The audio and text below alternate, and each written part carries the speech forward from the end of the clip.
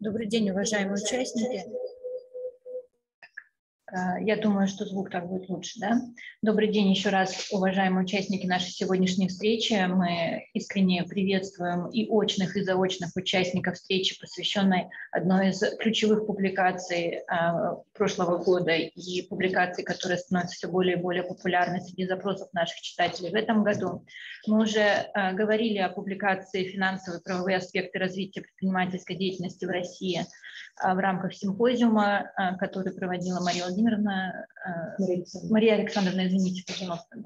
И э, встреча была действительно очень популярной и привлекла огромное внимание. Разговор получился живым и активным.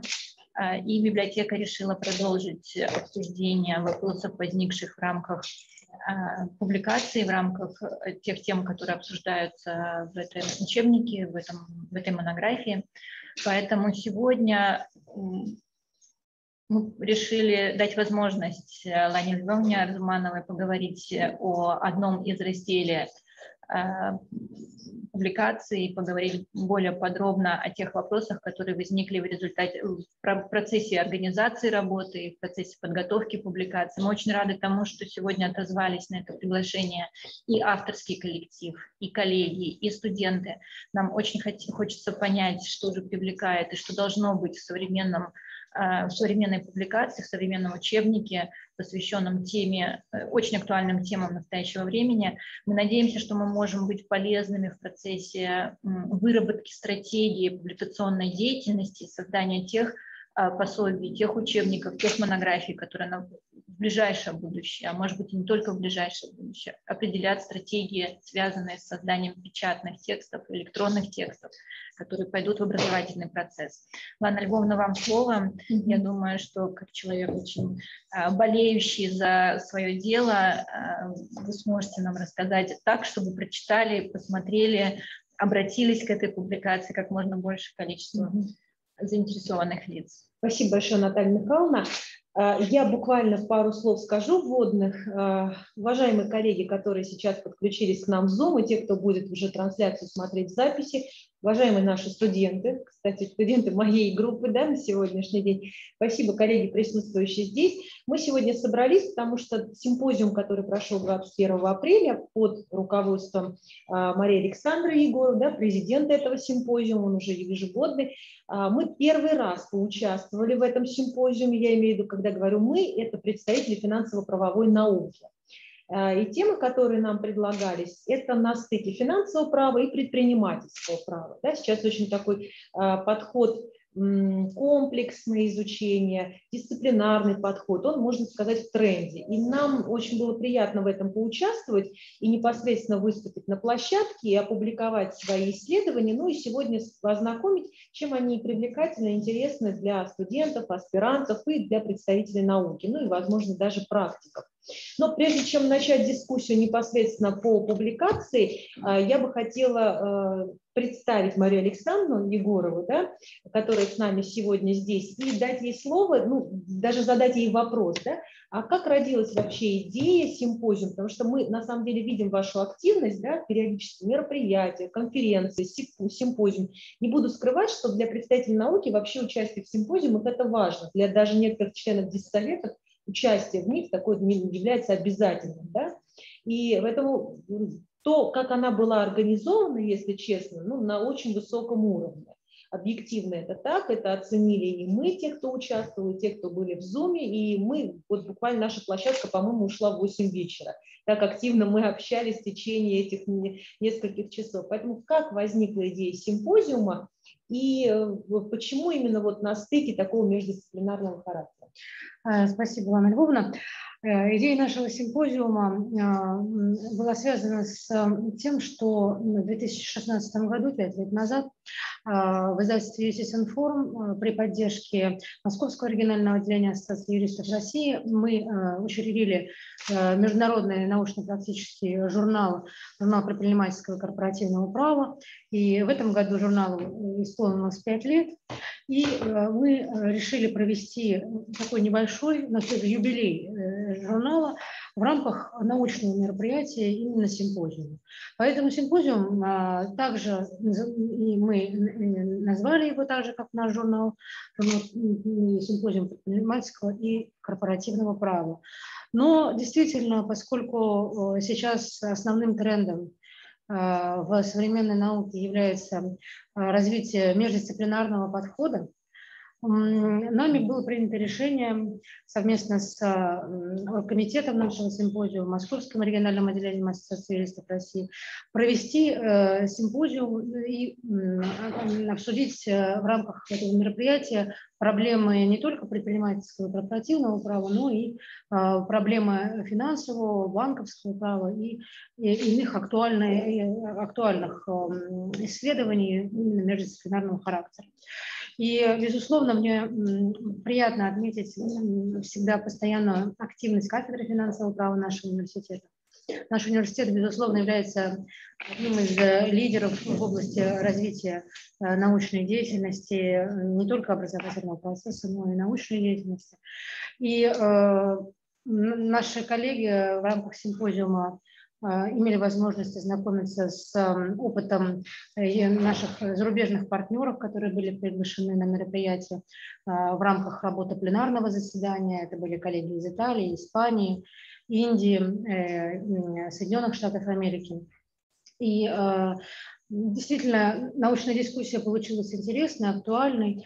Мы э, в рамках Московского регионального отделения и при поддержке э, нашего университета, университета Евгения Леонидовича Кутафина, конечно, будем э, проводить подобные мероприятия на самые актуальные темы междисциплинарного характера. И, конечно, будем всегда рады видеть коллег, которые занимаются проблемами финансового права э, на наших научных площадках. И я, конечно, хотела бы выразить благодарность руководству нашего университета за поддержку э, в организации нашего мероприятия, лично ректору нашего университета Виктору Владимировичу Блажееву и проректору по научной работе Андрею Николаевичу Чернякову, поскольку во многом э, наша хорошая организация мероприятия 21 апреля была связана с поддержкой нашего университета.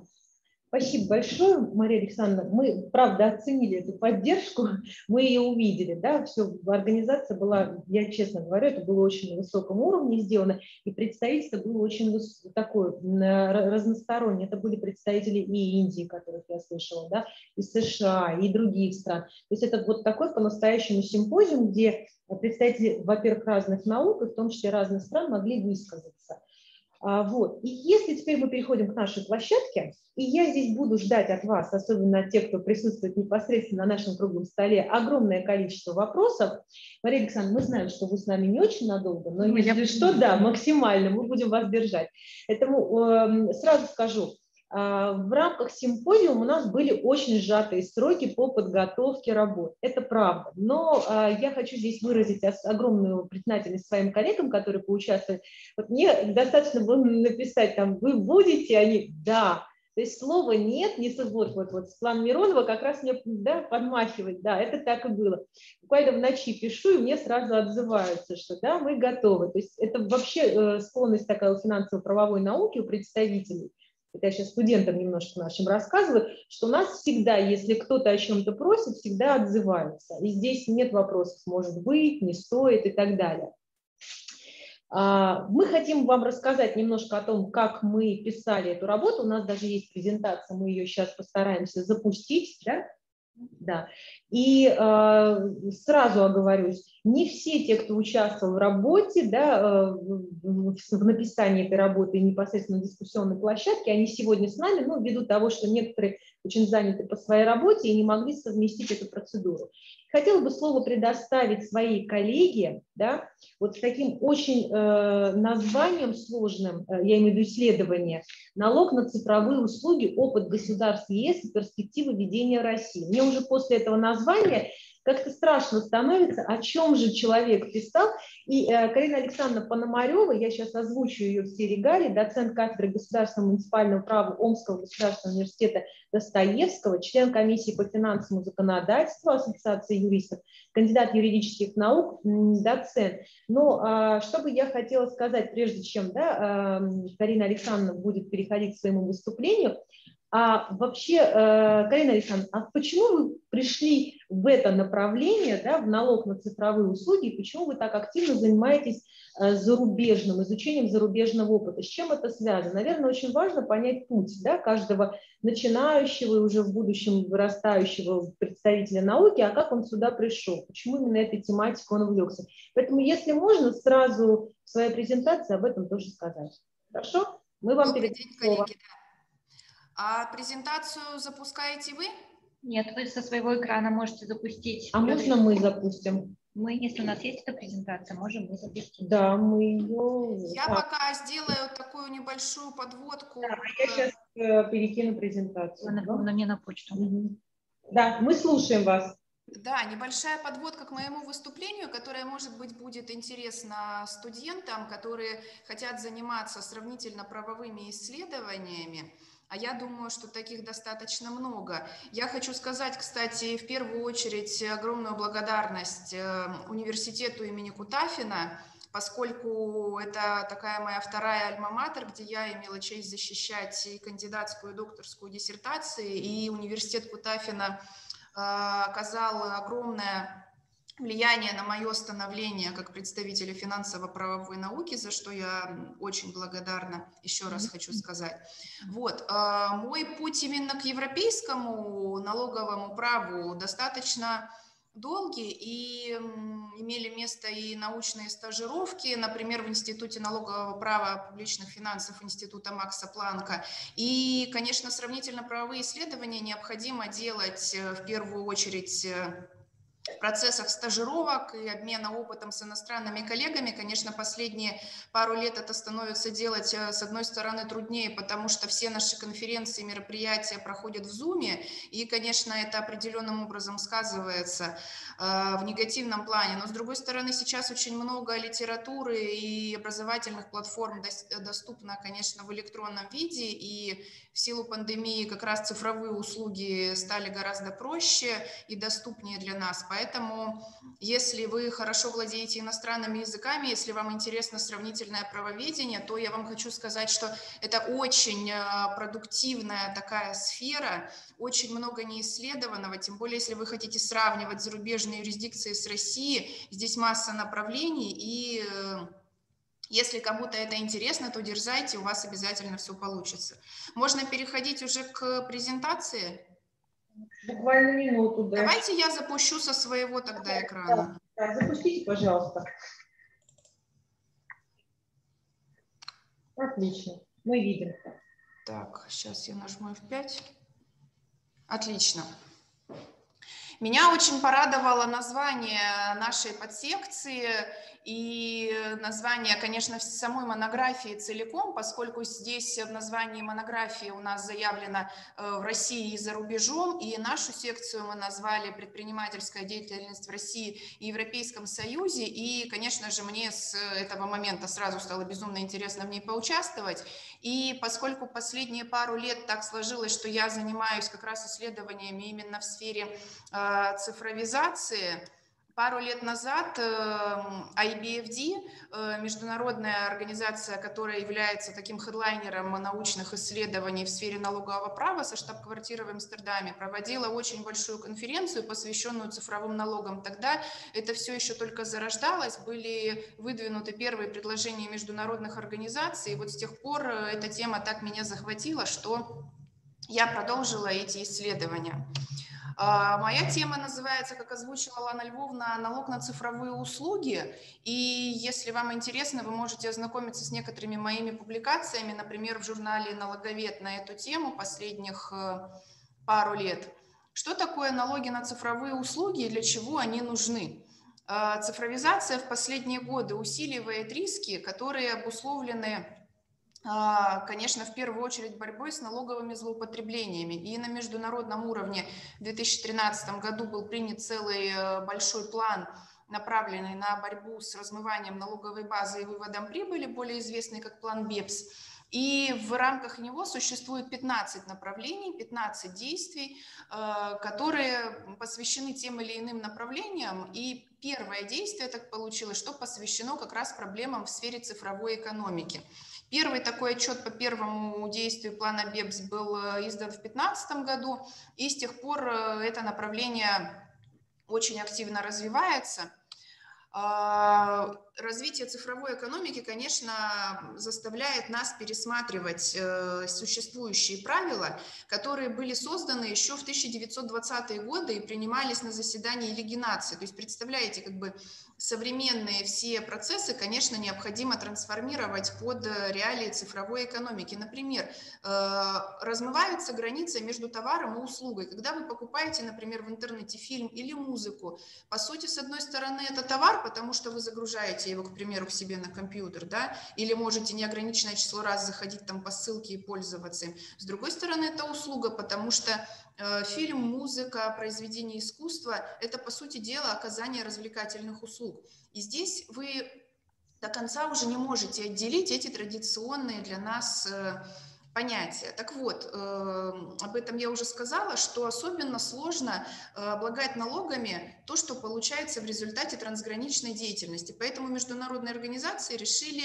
разрабатывать новые правила. В 2018 году Европейская комиссия предложила трансформировать эти правила и вводить налоги с местной выручки IT-гигантов. Ну, например, Google, Amazon, Facebook, все это цифровые компании, которые имеют представительство в массе юрисдикций, но понятно, что головная, допустим, компания находится в США, да, в Купертино, допустим, как э, у Apple, да, и есть э, там Apple Ирландия, Apple э, Люксембург, Apple Нидерланды. Все эти компании, они являются представительствами компании Apple, допустим, в юрисдикциях ЕС, и они каким-то образом формируют свою прибыль. Было очень громкое дело Apple, поскольку его европейская штаб-квартира находилась в Ирландии, которая известна как самая, так скажем, низконалоговая юрисдикция в Европейском Союзе, и компания, естественно, не доплачивала миллионы и миллионы долларов налогов, э, что повлекло за собой очень большое э, разбирательство в ЕС. Ну, как бы мы в силу нехватки времени на этом, конечно, заостряться не будем.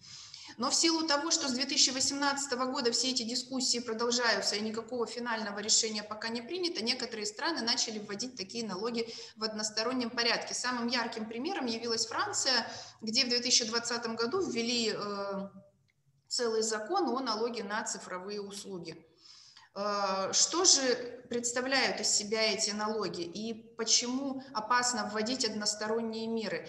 Односторонние меры всегда могут искажать какие-то тенденции. То есть э, Франция условно будет э, создавать такую напряженность, облагать американские компании этими налогами, в других государствах у них таких налогов не будет, и как бы выбор юрисдикции будет сопровождаться тем, что будут выбирать, как обычно, компании ту юрисдикцию, где будут наименьшие налоговые издержки. Почему в России важно, допустим, зачем мы любое сравнительное исследование делаем, мы должны понять, зачем нам это в России. Э, в России очень много конкурентных цифровых компаний, тот же Яндекс, э, Wildberries, Ламода, ВКонтакте. Э, эти все компании очень крупные. Ну, Яндекс, как бы вы понимаете, что это уже так международная огромная компания, которая, кстати говоря, зарегистрирована в Нидерландах. Вот. Э, и эти компании зачастую вынуждены, поскольку у них эм, в России головные организации, они вынуждены платить в России все российские налоги. При этом, допустим, компания, которая работает в России из-за рубежа, она платит налоги по месту своего резидентства, например, в Соединенных Штатах Америки. Здесь же она не несет налоговой нагрузки, поскольку это резидент иностранного государства. Поэтому наши компании вынуждены, например, платить страховые взносы, налог на прибыль, вынуждены облагать НДФЛ своих работников. А иностранные компании этого не делают. Поэтому получается получается, что по сути наши компании находятся в худшем положении, чем а, иностранные, поэтому нам необходимо, собственно, э, как-то выравнивать это положение и будем наблюдать э, за тем, что предпримет наше правительство в э, принятии тех или иных мер. Но я уже, наверное, в силу нашего ограниченного времени буду закругляться, я просто вам объясню, что такое цифровой налог, буквально на одном слайде. То есть, что такое цифровой налог? Это для тех компаний, которые занимаются либо посредническими услугами, либо продают какие-то онлайн-продукты, либо занимаются спонсорированной рекламой. Ну, на примере Франции, вот какие компании облагаются этим налогом. И, например, Amazon, если он является посредником, да, это просто как бы marketplace, который продает э, от одного э, продавца э, через него он продает это покупателю. Тогда Amazon является субъектом цифрового налога. А если Amazon просто является складом и сам продает свои какие-то товары, то в данном случае Amazon просто будет облагаться обычными налогами, там налогом на прибыль, НДС, поскольку здесь именно цифрового интерфейса и посреднической функции здесь у нас не будет. Таким образом, вот можно подвести такой итог, что те услуги, которые подпадают под такие налоги, они направлены на участие пользователя и представляют собой посредническую платформу, с помощью которой эта услуга оказывается. А, ну, цифровые там детали вы можете там по всем этим, ну, в подробностях прочитать э, в монографии э, в моей статье, и можем тогда сказать, что для крупных компаний, безусловно, это должно иметь место. Э, для каких-то более мелких, ну, по сути, они уже будут подстраиваться под те услуги, и нам необходимо нашим компаниям предоставить такой благоприятный налоговый режим, чтобы они продолжали деятельность в нашем государстве, и не было утечки э, хороших компаний и прибыли их э, за рубеж, а мы могли пополнять российский бюджет и таким образом улучшать благополучие российского государства. Вы можете, соответственно, изучать как раз тематику налогообложения прибыли, доходов в эпоху цифровизации. Сейчас очень много материалов на эту тему. И я желаю вам дальнейших успехов в вашей деятельности и благодарю за внимание организаторов. Спасибо. Спасибо большое, Карина Александровна. А у меня, например, да, я хотела еще буквально рассказать о том, что Карина Александровна недавно блестяще защитила докторскую диссертацию. Мы ждем решения ВАКа да, хлопаю, аплодирую, да, участвовала, слушала, голосовала, поэтому на самом деле и проблематика, которую она там рассматривала, тоже была связана с налогообложением зарубежным, да, я не буду сейчас подробности рассказать, э, вышла монография, много публикаций, скопусов, Web of Science, да, ваковских и так далее, на самом деле, в самом начале вы сказали, что у меня есть несколько публикаций. Там уже не несколько, там больше, чем несколько публикаций, поэтому читайте, смотрите, особенно для тех, кто интересуется зарубежным опытом, ведь ну, не все хорошо знают язык, да, могут перевести, а, не у всех есть доступ ко всем источникам. Вот э, Карина Александровна из тех, у кого этот, эта возможность есть, желание есть, знает языки, да, и поэтому она работает с первоисточниками, и это очень ценно. То есть тут, тут мы, я помню, даже на диссертации возник вопрос, по-моему, да, как переводится то или иное слово правильно, и вот представители МГИМО рассуждали, так ли или иначе, и вот Карина Александровна обосновывала свою Э, позицию по этому вопросу, обращайтесь, Особенно это касается представителей нашей молодежи, да, которые интересуются наукой и которые вот ищут себя, а о чем бы написать. Ну и мне кажется, было бы очень полезно об этом написать, тем более, что сейчас вопросы налогообложения в цифровой сфере, у нас, кстати, один из спикеров, который выступал а, на заседании нашем, да, он тоже писал в похожей тематике, но сегодня не мог выступить, очень много вот э, обсуждается, пишут про игры да, в праве. Я имею в виду э, Николая Юрьевича Андреева, который с нами тоже участвовал, он много пишет об, об этой проблематике, а, как это регулируется, не регулируется, что с этим делать, какие маркетплейсы есть, да, как это налогооблагается. Поэтому мы с вниманием будем дальше следить за вашими работами.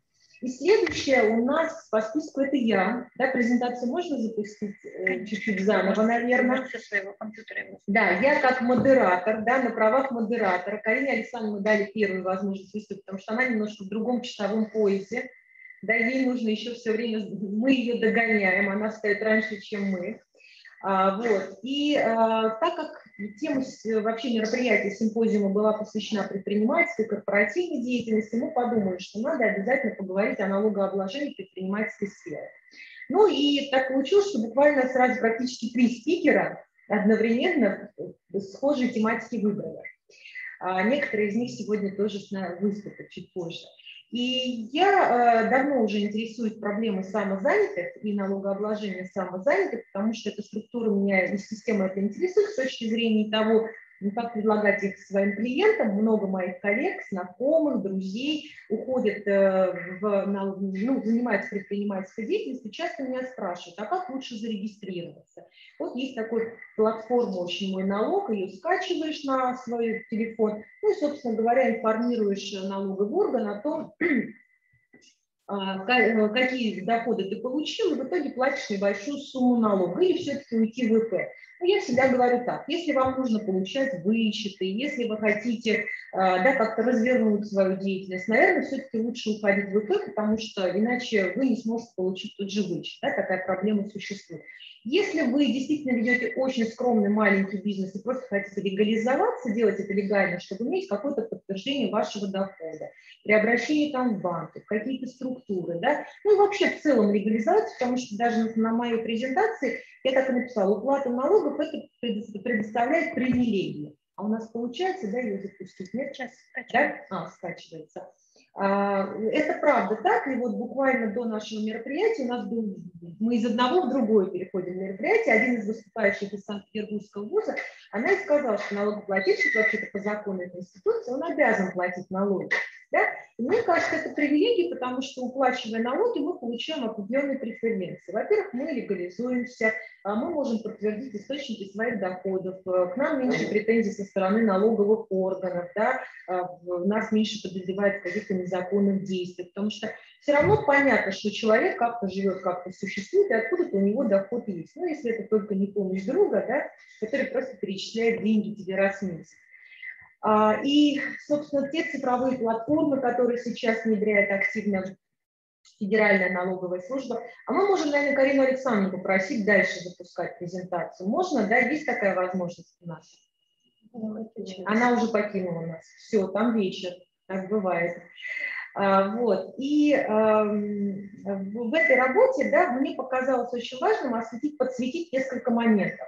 Ну, во-первых, начнем с того, что вообще самозанятость появилась у нас в 2019 году. Это некий пилотный да, проект такой. Правда, пилот очень долгий, десятилетний. Да, он до конца 2028 должен просуществовать. И в рамках этого пилотного проекта предполагается понять, какое количество налогоплательщиков на территории нашей страны существует, Эм, запускайте, если можете. Я вот вижу в чате. Запускайте, мы только за.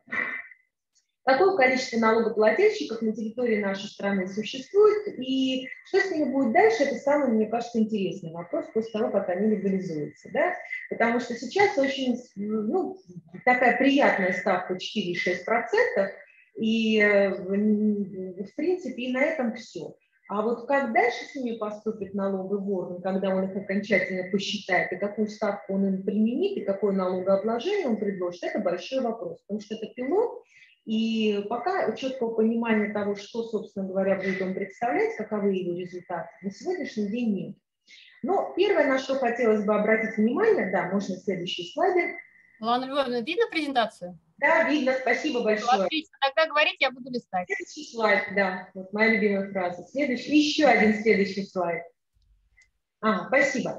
А, значит, э, какие проблемные моменты на сегодняшний день существуют? Очень низкий процент вовлеченности. Что бы мне ни говорили, рассказывали о том, что на территории Российской Федерации, по-моему, на март месяц уже 2 миллиона вовлеченных в эту систему, ну 2 миллиона для Российской Федерации, это ничего с учетом того, что я рассказываю собственную позицию, с учетом того, что нужно понимать, что многие э, существуют в трудовых отношениях и параллельно ведут бизнес.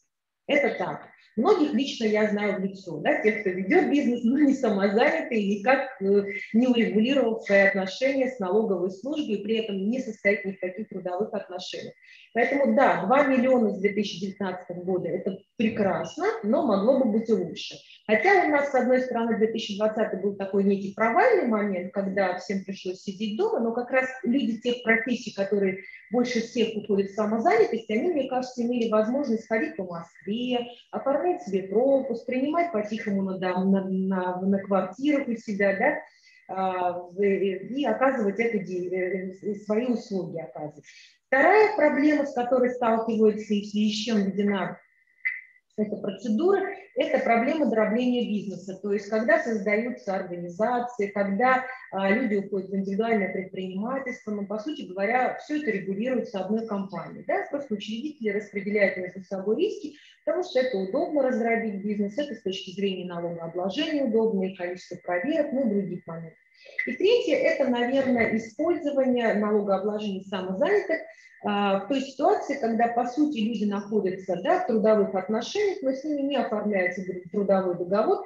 А, есть даже такое понятие, как аутсорсинг. Но это не есть аутсорсинг. Аутсорсинг – это когда ты нанимаешь компанию, да, и ты не платишь страховые, НДФЛ и так далее, у тебя нет никаких проблем с трудовыми комиссиями и прочими инспекциями, но у тебя есть, э, у тебя есть организация, которая ты можешь предъявить претензии на определенный момент, где эти работники, почему они не выполняют ту иную функцию.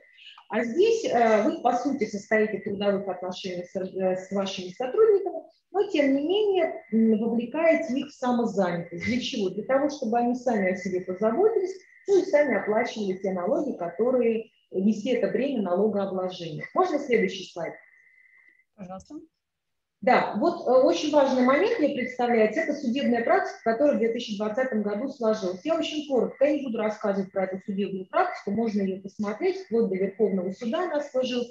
Первая практика – это именно по тем, кто состоит в трудовых отношениях, да, уже выявлены эти случаи, причем основанием там в качестве одного из оснований является факт появление на работе. То есть когда человек постоянно приходил в одно и то же место, да, и вот это послужило основанием для того, чтобы посчитать, что он э, является не самозанятым, а по сути состоит в трудовых отношениях. И далее э, решением суда он был, его обязали оформить его как э, гражданина, который находится в трудовых отношениях, естественно, выплатить все страховые взносы, которые необходимы, оформить приказ на него, внести изменения там, в трудовую книжку соответствующую информацию. И второй момент – это также по дроблению бизнеса, тоже уже есть небольшая судебная практика решений, а, можно тоже с ними ознакомиться, где коллеги да, э, оспаривались эти моменты и э, доказывались э, тот факт, что произошло дробление бизнеса, по сути говоря, это не самозанятость.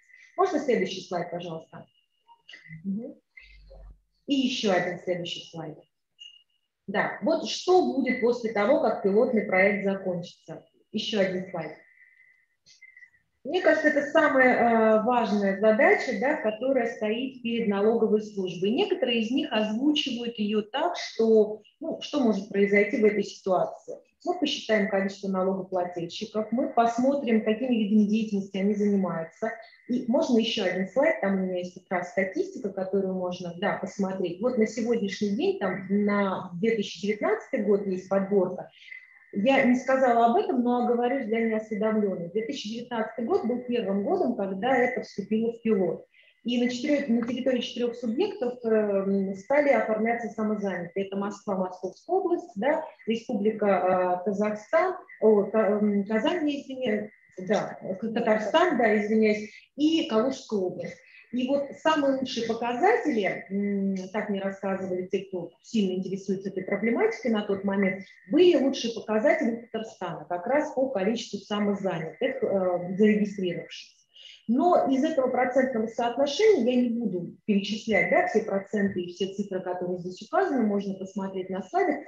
А, только 50% из зарегистрировавшихся, они да, информируют в том числе о тех видах деятельности, которые они осуществляют. То есть сам, сама платформа «Мой налог», она не предполагает, не, не является обязательным элементом там, указания того вида дохода, которым, ну, за счет которого ты получаешь этот доход, той вида деятельности, за счет которой ты получаешь доход. Поэтому это налог налогоплательщика. Но с другой стороны, налогово очень интересно понять, а откуда берутся эти доходы, то есть какими видами деятельности занимаются налогоплательщики. Ну и есть подборка, это очень самые такие простые работы, ремонтные работы, репетиторские, дизайны, да, оказание услуг в сфере красоты и так далее. То есть те виды услуг, которые, по сути говоря, оказываются и в рамках какой-то организации, можно параллельно, самостоятельно тоже эти виды услуг оказывать. И, пожалуйста, следующий слайд. Да, выводы. Ну, наверное, да, пока очень преждевременно говорить, что нас ждет в перспективе, потому что 2020 год еще, ну, я надеюсь, не так быстро пройдет времени, да, еще, еще, еще есть какой-то целых 7 лет впереди для того, чтобы сделать выводы, но налогоплательщикам, которые на сегодняшний день регистрируются в качестве самозанятых, надо подумать о своей дальнейшей судьбе, то есть что с ними будет дальше. Я так думаю, что вот прекратить в какой-то момент, с одной стороны, они самозанятость, конечно, могут, но это же добровольный характер, никто не обязывает вас существовать в этом статусе. Вы можете появиться, потом уйти из этого статуса. Но с другой стороны, вы уже заявились, о вас уже знают, и в будущем, когда особенно цифровизация полным ходом пойдет по стране, и в регионы войдет, то, скорее всего, уже будут присматриваться к тому, чем вы занимаетесь, и, собственно говоря, откуда у вас э, эти виды дохода. Ну, еще последний слайд, пожалуйста. Нет. Все, последний, да. И я перед тем, как передам слово своей коллеге, я хочу сказать с точки зрения того, чем полезно данная проблематика, особенно для тех, кто начинает заниматься, да, пишет курсовые, диссертации, там, хочет поступить в аспирантуру, или просто занимается параллельно научной деятельностью и предполагает уйти в практику. Ну, во-первых, тема актуальная, да, она появилась сравнительно недавно. Во-вторых, зарубежных аналогов очень мало. Если вы посмотрите зарубежную практику, то там самозанятость немножко по-другому. Там помощь самозанятым, консультирование оказывают, да, чуть ли не предоставляют места для того, чтобы они осуществляли эту деятельность. У нас всего этого, по сути говоря, не осуществляется. Государство это не делает. А, есть свобода выбора, есть свобода предпринимательской деятельности, делайте, что хотите, ну, в рамках закона, но при этом оплачивайте налоги и пополняйте бюджет страны. А, поэтому я знаю, что наши представители органов государственной власти много ездят по странам да, и рассказывают о том, как наша система самозанятости сейчас работает.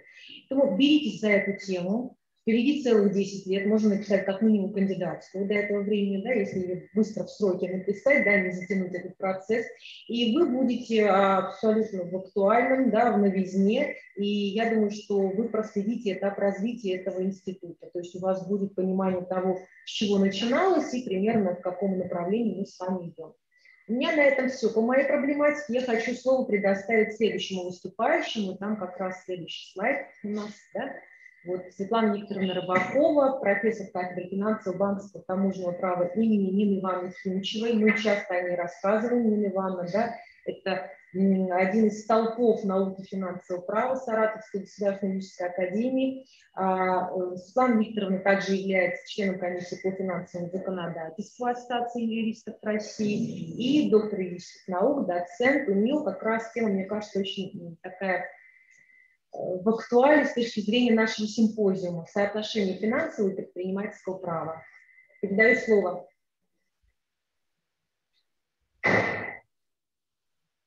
Светлана Викторовна, мы вас не слышим. Да, добрый день, уважаемые коллеги, глубоко уважаемая Лана Львовна. Приветствую всех студентов. А, очень интересное мероприятие, с удовольствием слушаю. И позвольте тогда как раз-таки обратиться к э, имени Нины Ивановны Химичевой, вот, о которой сейчас сказала Лана Львовна, имени э, ее имя носит кафедра, на которой я работаю. И как раз-таки вот э, моя публикация связана с развитием в том числе идеи Нины Ивановны Химичевой, а, которую эту идею вообще разделяет Саратовская школа права. И, собственно, глобально эта идея заключается в том, Светлана Михайловна, что а, мы не, не говорим о комплексных отраслях права, а говорим о комплексных отраслях законодательства. И исходя из этого, финансовое право с предпринимательским соотносится таким образом. Финансовое право – это отрасль права самостоятельная, а предпринимательское право – это отрасль законодательства, но уже комплексная. Следующий слайд. А, собственно говоря, а, исторически так сложилось, что эта проблема, которую мы вот обсуждаем как соотношение вообще чего-либо в праве, вот данное именно соотношение отрасли права, отрасли законодательства, ей еще нет, наверное, вот в таком чистом виде 100 лет, но она уже достаточно, скажем так, а, сформировавшаяся. И считается традиционно, что начало этого было положено в 1948 году. Вот подробно весь этот генезис проблематики как раз можно изучить, прочитать в главе а, монографической, то есть в той монографии, которую мы сегодня презентуем. Я там все это подробно изложила. И так вышло, что на тот период проблематика комплексных образований в праве а, развивалась, а потом как будто бы эта дискуссия состоялась и в каком-то мере как бы завершилась, но она была э, продолжена вновь, когда начало формироваться право новых рыночных отношений и как бы эта а, проблематика актуализировалась. Следующий слайд. А вот э, я буду использовать аббревиатуру комплексное образование права КОП, ну, чтобы проще и процессуально, так сказать, экономию здесь осуществить. И так э, вот в соотношении финансового и предпринимательского права происходит, что где а, случается стык. Собственно, почему они э, состыковались, эти две правовые общности? А, дело в том, что а, предпринимательское право имеет блок определенный, который необходимо отрегулировать с точки зрения финансового права. Ну вот, в частности, например, налогообложение. А, и в то же время а, финансовое право распространяет а, свое влияние и на другие сферы предпринимательских отношений, которые связаны с формированием тех или иных публичных ресурсов. Например, в чистом виде финансовая экономическая деятельность, например, банковская, страховая, то есть она вообще в своей основе финансовая, а не то, чтобы, например, торговля, да, которая предполагает налогообложение. Здесь такой косвенный а, выход на публичные финансы. А есть, еще раз повторюсь, ну это я для ребят сейчас, конечно же, говорю, такие сферы предпринимательской деятельности, которые сами по себе в своей сути являются финансовыми, ну вот в частности, можно одним термином сказать, финансовый рынок. Следующий слайд. И а, под, э, считается, в науке считается, что идея, вот та высказанная в 1948 году, была как бы подхвачена учеными, хотя, на мой взгляд, она сильно не была подхвачена, ей было уделено достаточно внимания, но она флагманом не была. И вот, э, собственно, имя, которое всегда фигурирует во всех публикациях, а, как бы как лица, развившего эту идею, это имя Юрия Кирилловича Толстого – это теоретик, известный в праве, но, на мой взгляд, его вот эта высказанная достаточно скромная мысль была очень широко интерпретирована и приспособлена для нужд а тех, кто отстаивает идею комплексных отраслей права, а не отраслей законодательства. И вот обращая внимание на этом слайде, что Юрий Кириллович сказал лишь о научной систематике правовых норм в отношении правовых комплексов, которая нужна, еще раз повторюсь, для удобства и вот два слайда можно пролистать. Вот ребятам как раз тоже хочу обратить внимание, что а, вот в процессе, в учебном, чем удобно изучать а, правовые именно комплексы. А, идет учебный процесс, вы на чем-то сосредоточены, предположим, на банковской деятельности, да, углубились в эту сферу, у вас может сложиться с кем какой-то внешнее общение, допустим, с представителями банковского сообщества, вы можете обращаться там, например, к официальным сайтам, еще к чему-то. Но вы, ваш мозг как бы сконцентрирован в этот момент на определенной э, специфике какой-то деятельности. И вы вот и в налогообложении, и можете трудовое законодательство посмотреть, и там валютное, например. Ну, самое-самое какое угодно разное. Даже, например, там, а как Государственная Дума да, контролирует деятельность, например, банковской системы. И вот в таком комплексе нам очень удобно. И вот, например, для учебного процесса это очень полезная вещь. Поэтому неудивительно, когда учебные курсы могут как угодно называться с постановкой слова право. Медицинское право, адвокатское право, космическое право. Вот не буду все перечислять, огромное количество. Но для науки и для правового регулирования вот так вот легко э, с этими словосочетаниями обходиться нельзя. И вот э, как бы краеугольный камень, э, на котором э, основана вот эта вот теория именно комплексных образований в праве, это а, идея о том, что есть комплексные отрасли законодательства. Когда именно удобно а, в одном, например, нормативном акте, особенно систематизированно, изложить какой-то вопрос всесторонне. Но правовое регулирование мы будем вот это всесторонне осуществлять в каждом сегменте, исходя из той отраслевой принадлежности, к которой эти отношения мы а, относим. И, соответственно, если это блок цивилистический, например, обязательственный правоотношения, мы смотрим на гражданский кодекс.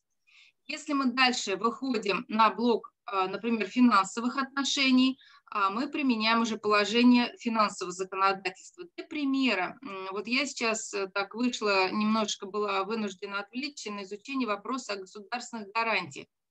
И вот э, государственные гарантии, это, ну, наверное, знаете или догадываетесь, что это способ, когда а, так скажем, поручителем по тем или иным сделкам выступает не кто-либо, а само государство и а, подписывается под этим, вот как поручитель, подписывается средствами бюджета.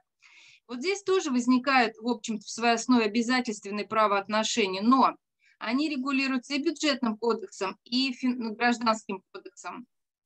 И вот этот стык, очень важный стык, его важно увидеть, а, заметить, понять и правильно урегулировать эти отношения. И не только урегулировать, а еще осуществить верную правоприменительную практику. Следующий слайд. А, ну, вот, соответственно, о пользе как раз-таки еще раз подчеркну, а вот э, что э, это в учебном процессе очень важно, это важно э, чистота проведения, от слова чисто, да, качественно, чистота проведения теоретических исследований. И, конечно же, это важно, а, вот, вот понимание вот этих правовых комплексов при верном толковании, а, особенно при разрешении правовых коллизий. И, конечно же, конечный наш итог, который всем нам важен, это единообразная а, правоприменительная практика. Не просто единообразная, а еще и соответствующая тем мыслям, тому замыслу, который закладывает законодатель в правовые нормы. Следующий слайд. А, ну, собственно говоря, он итоговый и говорит о том, еще раз подчеркивается, что финансовое право и предпринимательское соотносятся с позицией отрасли права и отрасли законодательства, то есть соотносятся как содержание и форма, и, соответственно, финансовое право – это самостоятельная отрасль права, а предпринимательское право – это комплексная отрасль законодательства. Я отдаю себе отчет в том, что моя точка зрения не является единственно верной. А, даже можно сказать, э, это очень дискуссионная постановка вопроса, но я в данном случае вот ставлю на позиции той э, школы права, выходцем которой я являюсь, Саратовской школы права, эта точка зрения такова. И я ее аргументирую позициями ученых, а, теоретиков, глубоких теоретиков, которые разворачивали дискуссии на страницах журнала «Государство и право» в 60-е, в 70-е, 80-е годы. А, тоже поддерживаю их позицию. Ну и, собственно говоря, вот вывод тот, который вы видите сейчас на экране. Спасибо за внимание. Викторовна, чтобы сейчас немножко внести такую э, струю, да, что называется, рассорить, я боюсь, что хорошо, что нас не слышат представители предпринимательского права. Ну, здесь студенты, они им донесут им обязательно, расскажут. им расскажут, Zoom им расскажет. И буквально недавно Инна Владимировна Ершова тоже презентовала свой учебник, да, коллективом авторов. Я думаю, что вот кафедра нашего предпринимательского права, не саратовской школы, а московская МГЮА, она не согласится с тем, что это комплексная отрасль законодательства. Да? Они говорят о том, что это самостоятельная отрасль. Да, конечно, как много... Нет, не, не об этом говорят? Да, так. Я... Несите нам еще какой-нибудь... Я, я так думаю, что имеет смысл пересмотреть или обратиться вот к презентациям именно кафедры предпринимательского права. Mm-hmm. Я так, мне показалось, что кафедра предпринимательского права внутри себя вполне допускает спор по этому вопросу. А можно все-таки? Да, так. и э, совсем категоричного утверждения такого, прямо вот, чтобы сказать, что, что вот так и никак иначе, у них присутствует такое поле для аргументов, но пока что все. Ну, то есть камнями так. нас бы не закидали Нет, сейчас, да? Случае, но, как вы правильно сказали, Светлана Дмитриевна, это дискуссионный вопрос. Я просто почему? Я просто, я помню презентацию, когда мы презентовали сам, саму монографию, монографию, и там был Вайпан, Егорова, Ершова, да, и вот они рассказывали о том, что такое предпринимательство право, там у них вопросы много к корпоративному праву, я так поняла, но тем не менее, в общем, они себя позиционировали как сложившаяся отрасль. А? Скорее, проблема технологии да, иногда да, отличается, да, да. и тут, конечно... Да-да-да, Светлана Викторовна. Лана Львовна, да, я в монографии, вот тоже э, подчеркнуть, да. и чтобы ребята это услышали, в монографии как раз ссылаюсь, э, есть там ссылки, я изучила внимательно работы заведующего кафедрой э, СПБГУ и МГЮА, посмотрела как раз вот предпринимательские кафедры, позиции эти, ну и вообще я давно знала уже эти позиции, просто я их практически цитаты там закрепила, вот, я как раз-таки считаю, что вот в этих научных спорах и рождается истина, а вот, поэтому я очень позитивно смотрю на дискуссионный характер данной проблематики. Нас Владимир Николаевич Синюков, представитель Саратовской школы. Да. И поэтому как-то говорить вот однозначно даже о представительстве школ, как раз мы можем об этом говорить в позиции такой диверсификации, скажем Мгм, так. Да? мгм. И, в принципе, уже сам, сам, сам тот факт, что мы пытаемся говорить о представителях разных школ, э, о тех, кто создавали разные школы, мы в репрезентации книг обязательно ссылаемся на те научные школы, которые стали, скажем так, основой Мгм. на доктрины, там, я не знаю, Развитие, да? развития, да, формирование уже говорит о том, что, в принципе, дискуссия идет достаточно активная, и как раз э, публикации позволяют глубоко вникнуть в теорию, да, Мгм. в аргументацию друг друга и услышать и создать некие такие вот сферы, как раз приближающие нас друг к другу в концепции научного знания, Мгм. потому что, как показывает практика, без хорошей науки нет хорошей практики. Абсолютно, Да, да, да. Хотя некоторые практики считают, что наука далека от практики, есть такая позиция, вот мы два дня обсуждаем как раз в рамках форума. А я тут еще, как, знаете, представитель школы медиаторов, наша сейчас площадка была по медиации, скажу, что не в споре рождается истина, я тоже так думала, а просто того, как стала медиатором, мне сказали, в дискуссии рождается истина, в споре все равно каждый остается при своем и расходятся. Поэтому истина там не, ро- не рождается, хотя, да, об этом говорили еще великие, но интерпретируя. Спасибо большое. На самом деле этот подход э, важен очень для студенчества, мне кажется, потому что когда мы обсуждаем да, на занятиях там, банковскую тематику, да, еще какую-то на стыке от разных отраслей, ну, слабо подготовленные, не буду пальцем показывать, здесь они отсутствуют, студенты, они всегда начинают рассказывать что-то из предпринимательского права. Ну, понятно, перед этим была пара из предпринимательского права, рассказываю, о чем знаю. И ты всегда задаешь вопрос, а в чем же отличие, например, финансово-правовое регулирование этой деятельности и, и там гражданско-правовой. И вот очень важно понимать, э, да, и ученым, и тем более практикам, которые пойдут дальше и будут уже обучать там студентов практическим вещам, ну, выпускников, чтобы вот не было такой подмены понятий. Поэтому спасибо за доклад, спасибо за высказанные точки зрения, очень фундаментальный. А, Да, и да, есть разные позиции. Хорошо, что наша кафедра все-таки предпринимательского права признает, что есть и такой вопрос. Допускает, Допускает, да, не признает, допускает, да, такое, Здесь еще такое направление. один очень-очень важный вопрос, как раз, вот, э, чтобы эта мысль не ушла. Дело в том, что сравнительный подход, да, мы прослушали уже и несколько докладов, он нам позволяет создавать такое мышление у студента, которое дает ему основание идти Мгм. дальше не только в рамках российского законодательства и российского Мгм. права, но и на международный, скажем так, уровень, потому что умение аналитики, да, умение сравнительного анализа, оно формируется именно на основе анализа разных подходов доктринальных в рамках своей науки, в рамках своего обучения. Мгм. А потом мы получаем очень грамотных аналитиков не той точки зрения, что они знают разницу, а с той точки зрения, что не знают методику Сравнения.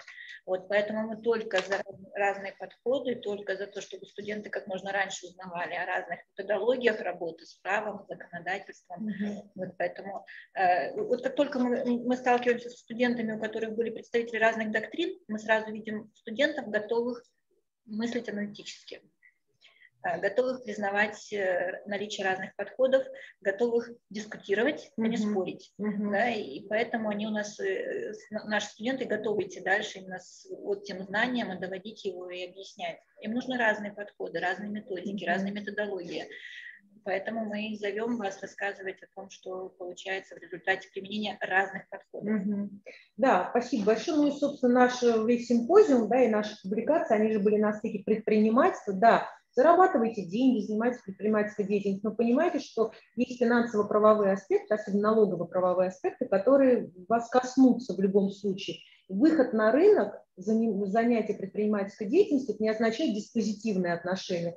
Заключил договор, ну и все, и, собственно, веду эту деятельность. Это сразу включается императив. Уплата налога, страховых взносов, ну и дальше. Если ты участвуешь с государством в каких-то отношениях, это договоры другого порядка, где ты не можешь вносить изменения, где тебе, по сути говоря, предлагается, ты должен подписать, да, контрактная система и тому подобное. Поэтому спасибо огромное, Светлана Викторовна, и я передаю слово. Хотела сказать, приехали, ну, наконец увиделись. Мы так часто общались в Zoom, да, но наконец увиделись и лично. А, Представителю высшей школы экономики, вот тоже заметьте, что у нас именно в рамках нашей финансово-правовой секции мы пригласили специалистов Забыли Рудеян, извиняюсь, но в следующий раз. Да, непростительно. Вот, но э, мы пригласили представителей разных научных школ. Да, это тоже важно. Саратов, Высшая школа экономики, МГЮА. То есть, чтобы м, те, кто прочитал, те, кто с нами был на, этой, на этом мероприятии, они услышали разные позиции, ну и вот как раз тоже такой междисциплинарный подход увидели. Ведущий научный сотрудник Института государственного муниципального управления Высшей школы экономики Ольга Игоревна Лютова, кандидат физических наук, тоже с очень интересной темой про спецналоговые режимы. Спасибо, Лана Львовна. Я приветствую всех э, участников нашего мероприятия. Очень рада, что нам присоединились студенты. Э, приветствую коллег и лично в Zoom. Наконец-то мы хотя бы частично выходим в офлайн, что меня очень радует. Надеюсь, э, в будущих наших мероприятиях встретиться лично с еще большим количеством уважаемых коллег. Да, действительно, Лана Львовна сказала, что здесь присутствуют разные представители научных школ, я занимаюсь вопросами цифровизации налогообложения, в частности, налогового администрирования, и могу сказать, что а, мои взгляды, они не замыкаются только тем, что мы делаем а, с коллегами в Высшей школе экономики, поскольку вопросами цифровизации и администрирования в самом широком смысле я увлеклась еще, будучи преподавателем Нижегородского государственного университета. Очень мощная школа по административному праву. Сейчас они получили грант достаточно крупный на э, развитие, изучение вопросов э, цифровизации контрольно-надзорной деятельности различных органов исполнительной власти. Поэтому да, материалы, доступ у меня был к самым различным, широким материалам. А сегодня хотела бы сказать о такой проблеме, как развитие правового регулирования специальных налоговых режимов, как а, инструментов поддержки предпринимательской активности именно в контексте цифровизации. Дело в том, что э, связь э, цифровизации налогов и активизации предпринимательской деятельности один из трендов государственной политики, который проходит просто красной нитью через ряд программных документов. Дело в том, что в Российской Федерации установлен ряд национальных целей, которые возможно достигнуть с помощью налогообложения именно в его цифровом выражении. Э, речь идет о том, что э, ну, я не буду перечислять сами стратегии, документы, э, да, установлено в качестве наццели к 2024 году, который уже достаточно скоро, достижение такой цифры, как 25 миллионов самозанятых и индивидуальных предпринимателей. А, это амбициозная цель Российской Федерации. Очень. Очень смелая, да, действительно. И на самом деле вот э, режим самозанятости, о котором Иван Львовна говорил, он как раз-таки появился именно вот э, после того, как еще президент в послании своих ежегодных заявил о том, что нужно увеличить э, количество представителей малого и среднего бизнеса. И именно вот тогда да, представители налоговых органов стали думать о том, а, как же это сделать, и в частности город да, а, конструировал, лично участвовал в том, чтобы определить элементы налога на профессиональный доход. И да, вот, очень интересная, кстати говоря, история, связанная с тем, как определялась ставка да, если время останется, то как бы, да, готова обсудить. Так вот, а, не отвлекаясь от темы, да, хочу сказать, то есть первый а, модный такой тренд – это цифровизация налогообложения, который, естественно, влияет на предпринимательскую активность. И второй а, процесс, второй тренд – это сокращение иностранных инвестиций в российскую экономику. Совокупности они, конечно, обуславливают а, актуальность необходимости выработки масштабных мер поддержки бизнеса именно налоговыми мерами. Следующий. А можно следующий слайд? Мы можем сейчас уже... А, уже можем сами? Да. А, так вот, что касается налоговых мер, которые явились бы а, способами поддержки предпринимательской активности, прежде всего это различные преференциальные режимы. Здесь э, можно сказать о двух важных тенденциях. Э, я их сначала обозначу, потом немного подробнее о каждой из них скажу. Первая тенденция – это появление различных э, льготных режимов, регулирование которых осуществляется за пределами налогового кодекса, либо в самом налоговом кодексе, но в качестве специальных налоговых режимов они не обозначаются.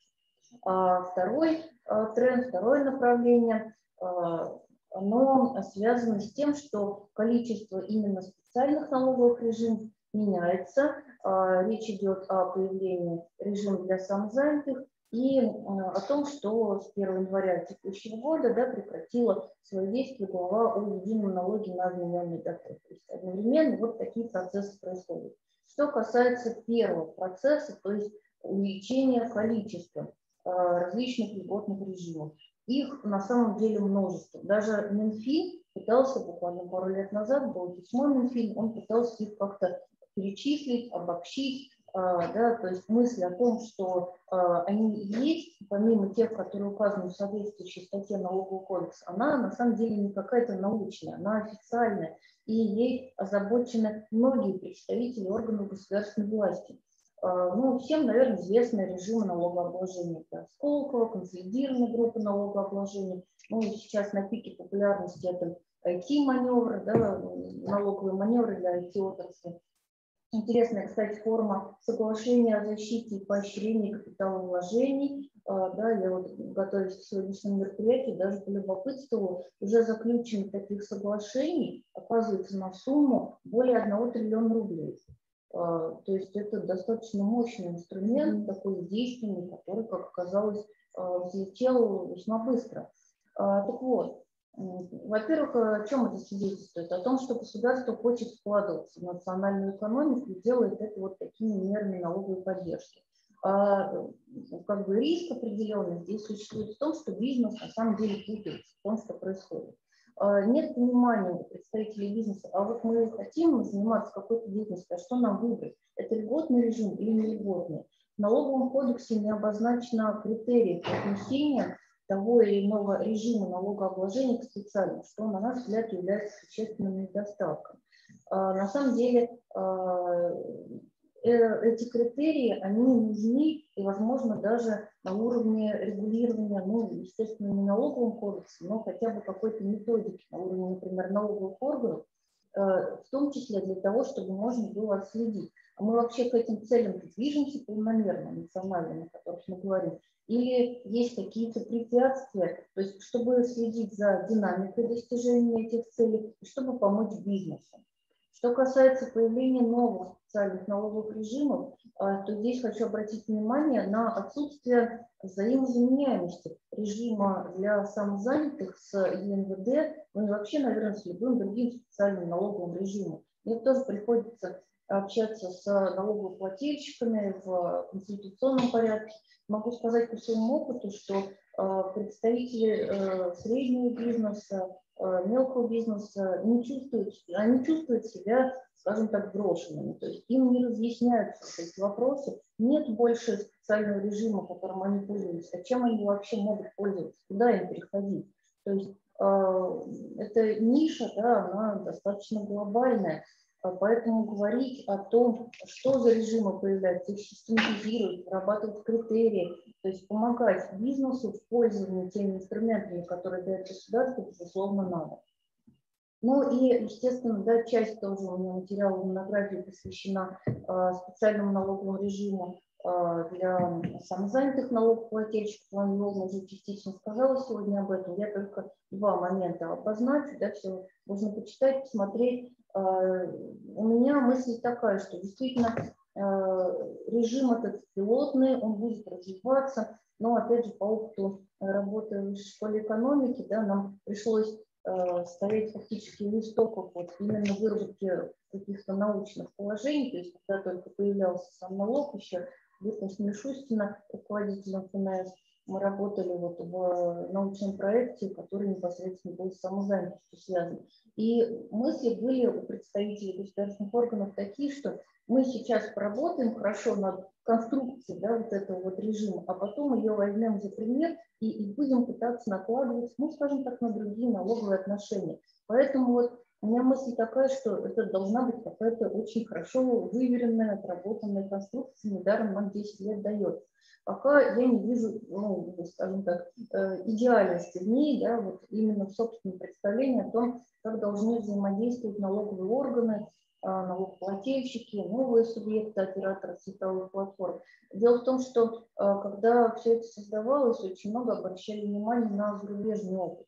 Мишустин говорил о том, что у нас транзакционное налогообложение, платформенное взаимодействие. На самом деле этого пока нет. Транзакционное налогообложение – когда э, мы оплачиваем услугу какую-то да, через вот эту платформу, а налог сразу с нас снимается. Ну, нам до этого пока далековато, хотя бы даже с технической точки зрения. А, так вот, что касается налога на профессиональный доход, то, на мой взгляд, здесь требуется совершенствование его правового регулирования по двум направлениям. Во-первых, с точки зрения объекта налогообложения, а, мне кажется, правильно максимально расширять возможность для применения этого специального налогового режима и по максимуму убирать все возможные ограничения. То есть формулировать Э, максимально конкретно, потому что сейчас складывается очень объемная правоприменительная практика, а плательщики спрашивают, а можно мы вот по этому виду деятельности применим этот спецрежим, а можно к другому? Налоговый орган, да, там, ФНС, Минфин дают ответы по каждому видов деятельности. Наверное, так не должно. И второй момент – это, собственно, э, сам механизм исчисления уплаты налога на профессиональный доход.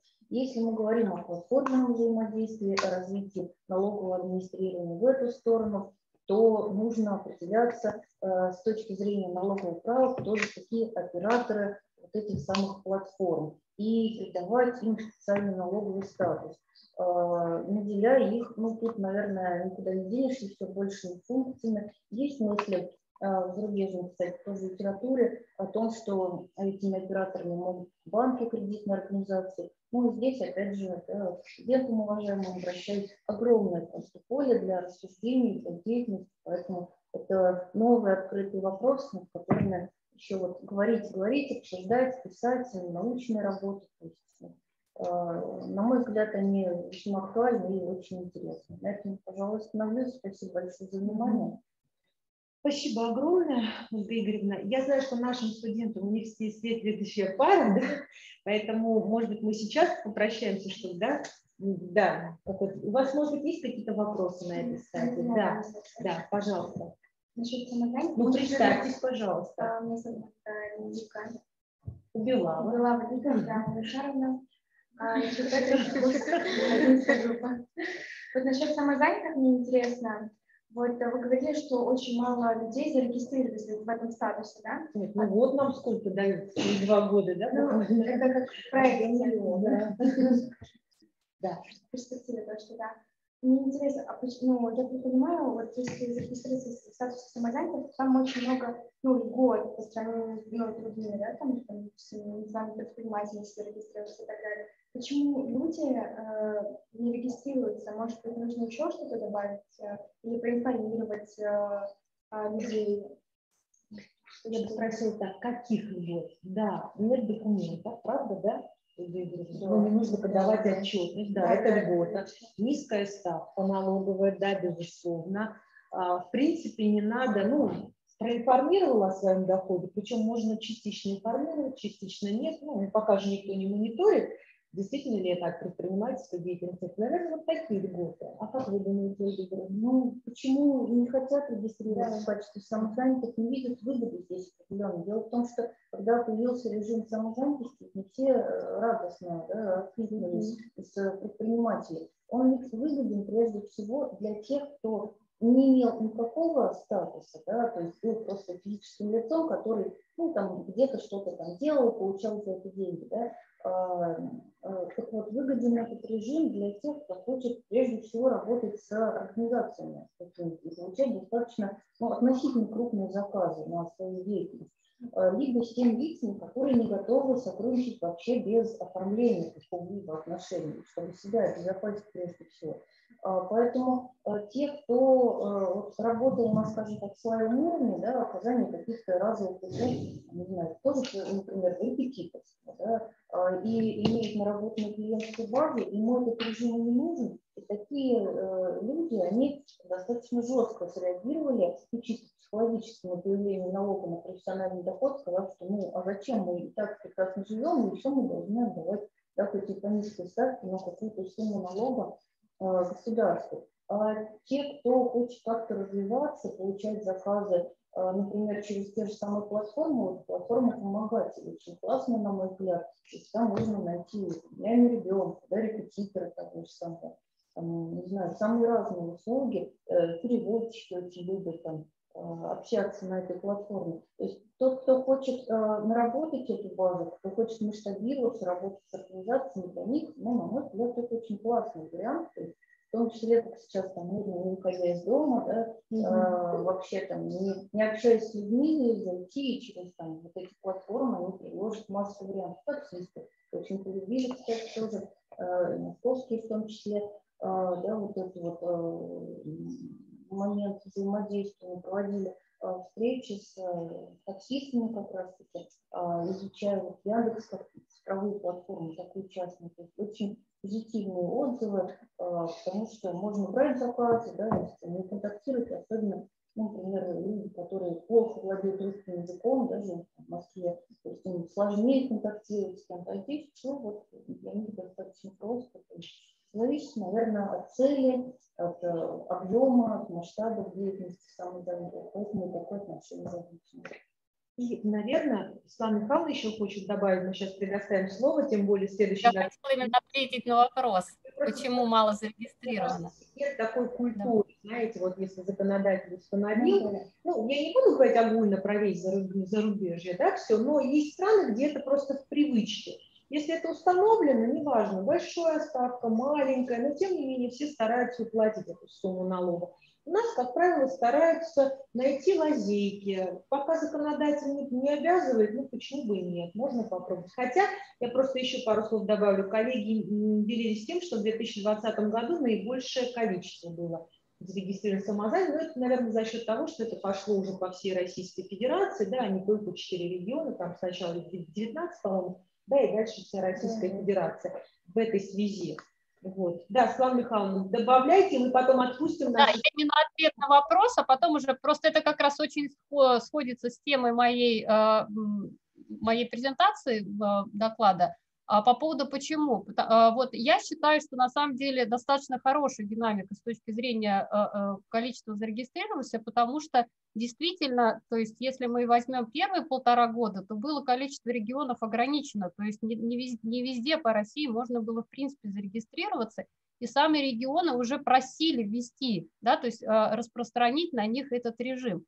И, по сути дела, на всю территорию Российской Федерации только с 1 июля прошлого года, то есть меньше года мы сейчас имеем, когда на, а, а еще регионы еще какое-то время вводили, да, ну, то есть фактически меньше года у нас с вами период, когда на всей территории Российской Федерации могут люди стать самозанятыми. Поэтому если мы возьмем динамику за вот этот период, то динамика прироста э, ну, очень хорошая.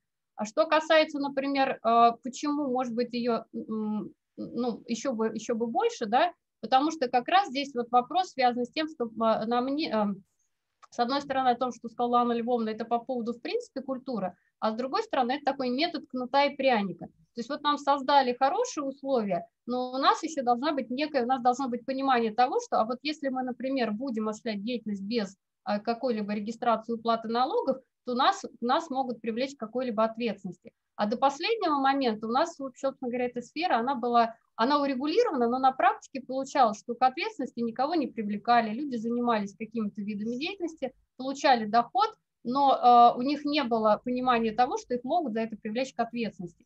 И вот если у них будет это понимание, да, то я думаю, что у них будет больше стимулов с точки зрения такого кнута, да, что лучше я пойду зарегистрируюсь самозанятым и заплачу какой-то небольшой налог, при том, что мне создали все условия ведения моей деятельности, чем э, я буду, у меня будет риск того, что меня могут оштрафовать, предположим, за получение дохода и неуплаты с него налога. То есть пока государство привлекает а, людей самозанятые, пока оно их не штрафует. Ну, собственно говоря, как раз я могу и перейти к докладу. Спасибо большое. Ладно. Мы сейчас просто отпустим наших студентов, потому что они люди режимные, Да, на них санкции будут распространяться практически как на налогоплательщиков. Спасибо большое. Вы хотите задать вопрос? Я хочу поблагодарить Спасибо. за возможность, потому что было очень интересно послушать а, все И доклады. увидеть. И послушать Правда? и увидеть, да. Это, это потому редкость. что даже сейчас анализируя, есть какие-то соображения по поводу дальнейших научных работ и так далее. Все в Очень приятно. учебник, в учебник, который мы будем Спасибо писать. большое. Да, спасибо. Спасибо. Спасибо вам, вам удачи. А, А мы продолжаем, да, Светлана Михайловна, сейчас буквально минутку, вот это у нас традиционная презентация, да, которая- Уважаемые студенты, мы все записи размещаем, Ознакомьтесь, да, подумайте, мне кажется, есть над чем поработать в дальнейшем в ваших работах. Светлана Михайловна, Светлана Львовна, пока технический момент. Я тогда не листаю презентацию, листает кто-то вы, да? Я могу мы листать. листаем, да, все уже хорошо. Все, да, отлично. То есть э, просто тогда Финансовое можно право, предпринимательского права Волгоградского института управления филиала РАНХИС, член комиссии по финансовому законодательству, доцент, кандидат юридических наук. Светлана Михайловна, передаем вам слово. Спасибо большое, Лана Львовна. Но, к сожалению, студенты ушли, но я надеюсь, что они потом посмотрят эту презентацию, потому что э, в, Они в, э, том, обязательно в том ключе, в котором были, да, я уже так придумала речь, тем может быть полезен, полезна эта тема для студентов с точки зрения дальнейших научных исследований. И как раз, а, то есть, поскольку мы уже затронули тему самозанятых, и а, один из аспектов, собственно говоря, на котором я останавливалась, это возможность а, установления законодательства, возможность привлечения к ответственности лиц, не только самозанятых, но и иных лиц, которые а, каким-то образом связаны с а, введением налога на профессиональный доход, а, поскольку такие нормы были установлены в налоговом законодательстве. И э, у нас есть несколько категорий лиц, которые, м, м, и, да, я, наверное, вот так начала, с того, что а, как раз мы говорим, вот о чем я сказала, да, что государство ставит себе задачу а, увеличить количество самозанятых, то есть для него это важно. Государство ставит себе задачу а, вывести людей из тени. И в этом смысле, поскольку сейчас это эксперимент, государство пока проводит такой некий мониторинг, то есть оно особо не контролирует самозанятых, и особо, ну и не то чтобы особо, и не привлекает их к ответственности, а, связанных, например, с уплатой налога на профессиональный доход. Но при этом нормы уже о возможном привлечении к ответственности в налоговом кодексе были закреплены сразу, как только был принят а, федеральный закон о налоге на профессиональный доход. Ну, а Следующий слайд, пожалуйста. И а, если мы говорим о налоговом кодексе, то у нас есть а, непосредственно две статьи, которые вот появились новые, а, которые предполагают ответственность за совершение налоговых правонарушений самими самозанятыми в связи с неуплатой налога на профессиональный доход, а также предусмотрена ответственность в отношении лиц, которые способствуют уплате налога на профессиональный доход. Таким лицам у нас относятся две категории. Это либо банки, а, через которые непосредственно да, а, самозанятые могут платить налог, либо это операторы, то есть различные платформы, которые, а, опять же, способствуют да, деятельности самозанятых. То есть для них установлена отдельная статья. Помимо этого, я бы выделила еще бы две категории лиц, которые также могут быть привлечены к ответственности в связи с деятельностью самозанятых. А, Либо это сами лица, которые, скажем так, неофициальные самозанятые, то есть, а- опять же, занимаются этой какой-либо деятельностью, связанной предпринимательской, либо деятельностью, приносящей доход, а, но фактически не зарегистрированы ни в каком статусе. И то есть здесь у нас с вами не нужно устанавливать новую ответственность, потому что у нас, в принципе, предусмотрена ответственность и налоговым кодексом и кодексом административных правонарушений а в связи с осуществлением деятельности да, э, предпринимательской там, и неуплаты налогов в связи с этим. И у нас есть уже складывающаяся практика, когда есть случаи, когда лица осуществляют по факту предпринимательскую деятельность, да, их привлекают к ответственности, например, за неуплату налогов, потому что они не зарегистрированы в соответствующем статусе. И вторая категория – это лица, вот, которые организации работают самозанятыми. И сейчас э, Ольга Игоревна в своем докладе как раз упомянула да, о, о том, что, например, самозанятым выгодно работать с организациями. И здесь обратная бывает ситуация, когда организации, э, которым выгодно, например, не платить страховые взносы, они э, пытаются каким-то образом вместо заключения трудовых договоров с работниками заключить с ними договор как самозанятым лицом. И для таких лиц, да, то есть у нас тоже, опять же, предусмотрена ответственность, например, за неуплату страховых взносов, если такие правоотношения будут квалифицированы именно как трудовые. А, пожалуйста, следующий слайд. А, один из аспектов, а, на мой взгляд, а, дискуссионных, который вот я выявила, когда я исследовала эту тему, это непосредственно размер штрафа, который установлен статьей 129.13 Налогового кодекса, который применяется именно к самозанятым лицам за неуплату налога. То есть у нас есть общая статья, там 122, например, за неуплату налогов в отношении налогоплательщиков, да, и э, здесь идет вот как раз некое, скажем так, противоречие между э, тем, что установлено для налогоплательщиков целых, и с тем, что установлено именно для самозанятых. А для самозанятых установлен штраф, в размере 20% от суммы непредставленного расчета, не суммы налога, а именно расчета, потому что речь идет о э, той сумме дохода, да, с которого потом налоговый орган автоматом считает этот налог. А, э, э, если в первом случае 20%, а если повторно, то 100% э, от суммы расчета. Ну, то есть фактически да, можно сделать вывод, исходя из того, как это записано в налоговом кодексе, что речь идет о доходе налогоплательщика, который он а, фиксирует для уплаты налогов, а не самой сумме налога. А, пожалуйста, следующий слайд. И если вот как раз, ну вот о чем я уже сказала, да, размер штрафа, э, если мы буквально будем читать эту статью, он определяется исходя из суммы дохода, а не из суммы налога. Следующий слайд. И э, э, как раз если мы возьмем статью 122, то там размер штрафа определяется исходя из суммы неуплаченного налога. И здесь получается такой вопрос, следующий слайд, что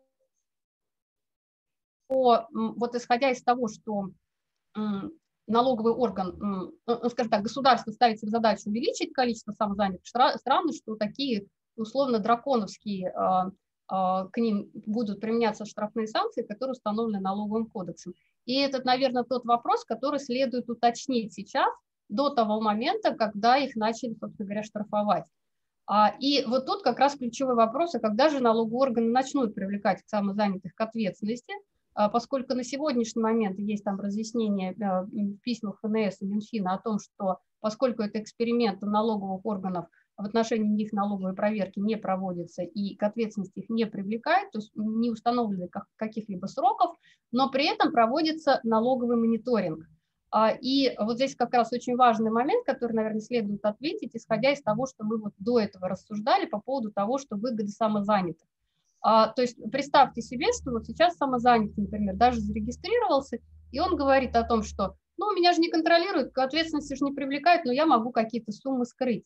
Но при этом, если эти суммы поступили на банковскую карту, да, то опять же к нему могут э, эти вопросы задать, а что это за сумма, например, и через год, и через три года, да, в, в пределах сроков проведения проверки. И э, получается, что вот как раз один из факторов, который необходимо разъяснять, например, гражданам, связанным с тем, что лучше зарегистрироваться самозанятым и показывать свои доходы, он как раз и заключается в том, что налоговые органы может и впоследствии спросить у вас за эти деньги, которые вы получили, и э, привлечь вас к ответственности, если вы с них налоги не платили. То есть вот такой некий фактор, да, то есть вот о чем мы говорим, да, разъяснять гражданам, скажем так, а, плюсы самозанятости, да, то есть что вы сейчас а, будете официально платить небольшие налоги, нежели у вас есть все равно риск привлечения к ответственности, которые в будущем все-таки могут возникнуть. Следующий слайд.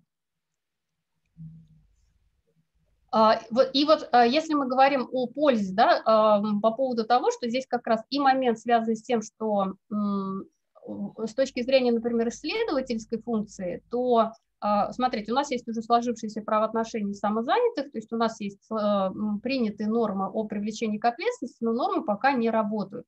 И мы должны понимать о том, что, то есть мы можем уже понять, например, вообще, а как они будут работать, э, поисследовать, изучить, да, то есть насколько они будут эффективно работать в будущем, может быть, имеет смысл а, скорректировать их сейчас, вот как я говорю, да, по поводу размера штрафа до того момента, когда они будут применяться, и возникнет такая противоречивая практика. Ну и, собственно говоря, да, то есть вот речь идет о некой разъяснительной работе, которая в отношении самозанятых может быть проведена для того, чтобы э, описывать все плюсы самозанятых для того, чтобы они больше регистрировались. Следующий слайд.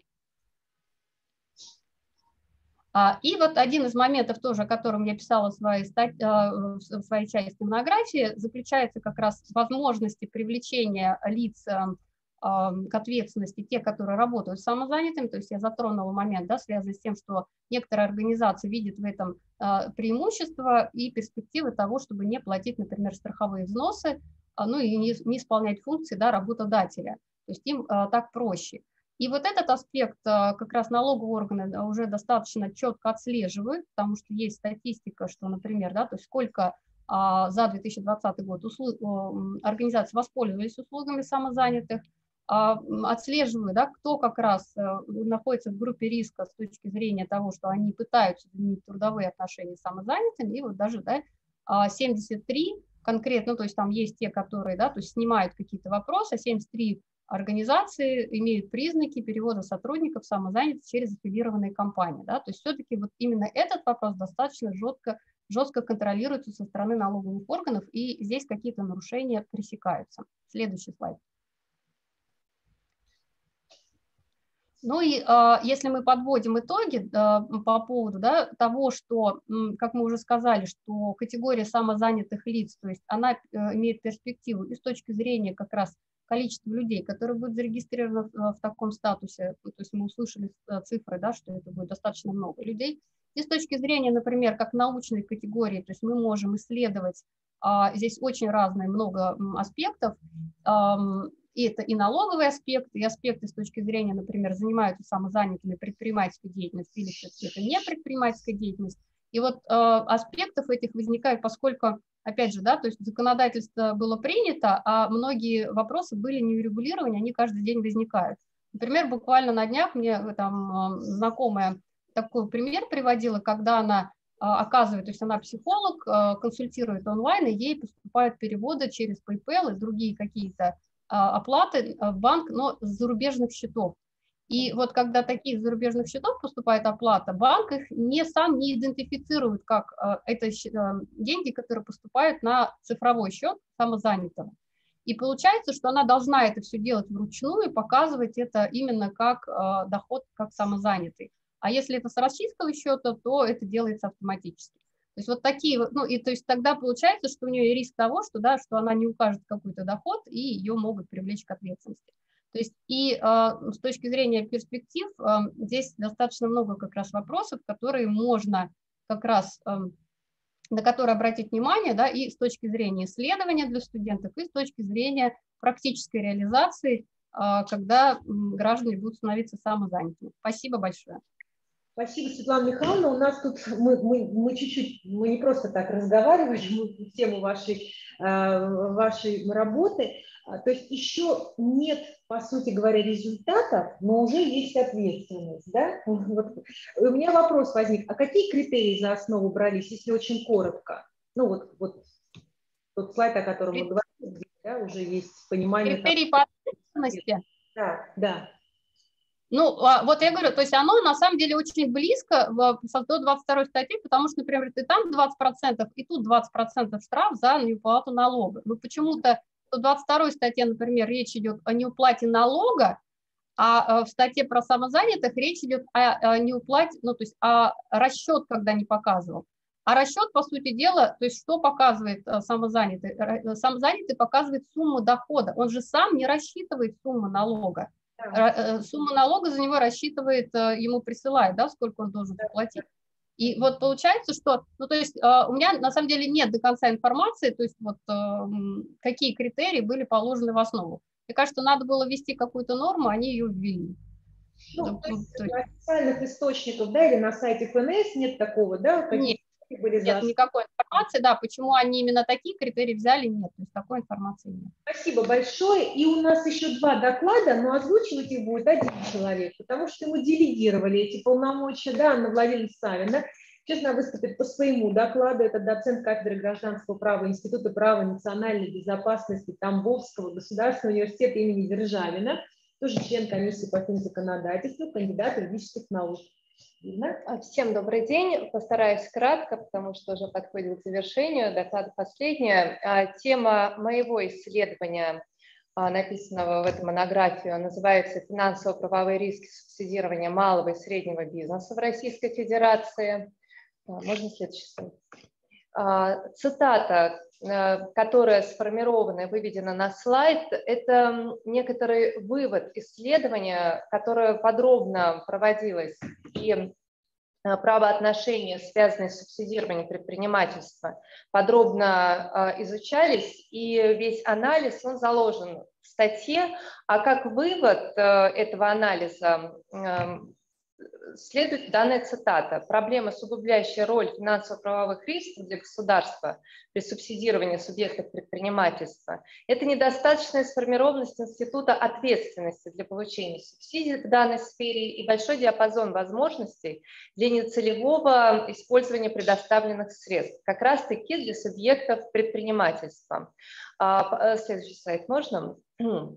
Актуальность, презент... Э, актуальность публикации, она состоит э, из многих аспектов, потому что сам формат э, вопроса субсидирования предпринимательства, он больше, пожалуй, назову его гибридным, поскольку много факторов сочетается. Во-первых, факторы риска, во-вторых, факторы субсидирования, то есть это блок бюджетных правоотношений, факторы ответственности, которые вмещают в себя и налоговую ответственность, и уголовную ответственность, и ряд других видов ответственности, которые также подлежат э, изучению и изучаются в монографии, в части монографического исследования мною. А, и таким вот к одним из э, вопросов, э, заявленных в актуальности публикации на слайде, относится ну, терминологический аппарат, который исследуется, а, разбираются критерии предоставления субсидий субъектам предпринимательства, исследуются а, нормативно-правовые акты и ряд документов органов власти, которые, в которых содержатся вопросы минимизации рисков.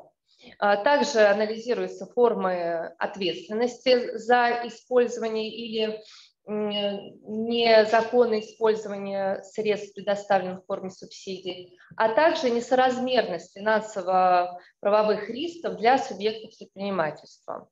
Следующий вопрос. Проблемными э, аспектами, которые заявлены в работе, главные назову, это отсутствие критериев э, ответственности за нарушение законодательства в сфере предоставления субсидий и получения субсидий уже субъектами предпринимательства.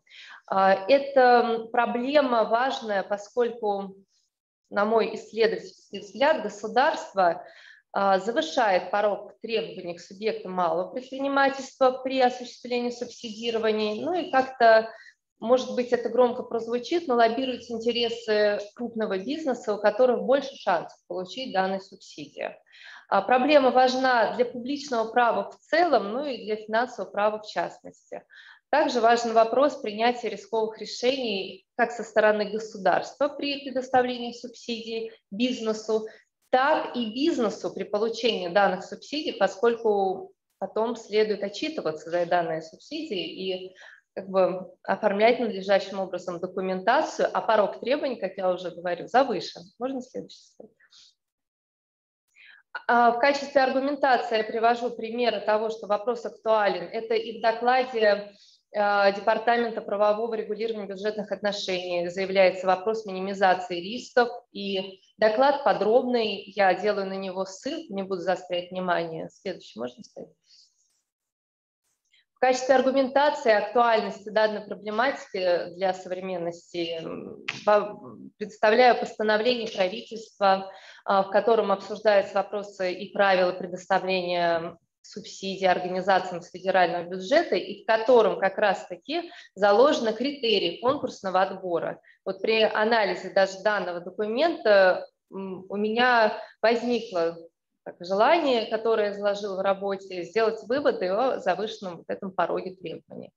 Э, третьим причем таким аргументационным является риск неполучения финансово-правовых, э, финансово-правовой риск неполучения субсидий для начинающих э, субъектов предпринимательства и малого бизнеса. Я уже об этом говорила, также не заостряю внимание. Следующий слайд. Вопрос, он несколько риторический характер или даже проблемный вопрос его можно назвать. Уместен ли принцип равенства применительно к получателям субсидий с федерального бюджета? Эм, как государственная поддержка среднего, предпринима... среднего предпринимательства в России. Я не совсем вижу слайд. Получается нам просто. Да, э, ну его видят, главное, все на экране. Вопрос действительно дискуссионный, потому что здесь важно учесть ряд факторов и соблюсти конституционные принципы, которые должны учитывать интересы э, представителей развитого бизнеса. И учесть фактор действительно риска, почему государство должно рисковать, а, когда предоставляет большие э, объемы денежных средств и предоставить непроверенным субъектам предпринимательства, это тоже сложный вопрос, и, а, пожалуй, и на сторону государства тоже важно вставать в данном аспекте, поскольку а, это вопрос денег, как раз таки, следующий слайд.